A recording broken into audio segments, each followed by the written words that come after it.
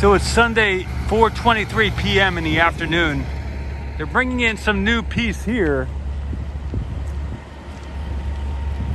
on the SPMT.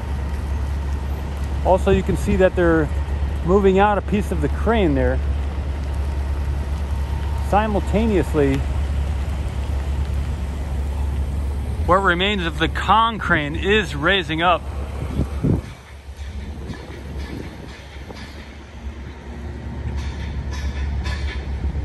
They also just unloaded the load spreader from the Liebherr crane. So the load spreader for the GSE cover is on the ground at the base there. Next to the Liebherr crane over there. So several things have happened today, since I've been here at least. And that's a quick update since my last live stream.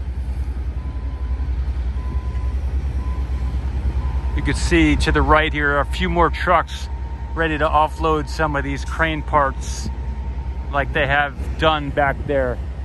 So my guess is they're gonna load up some more of those crane pieces from the back and uh, continue uh, making way for the next development there at the SpaceX launch site,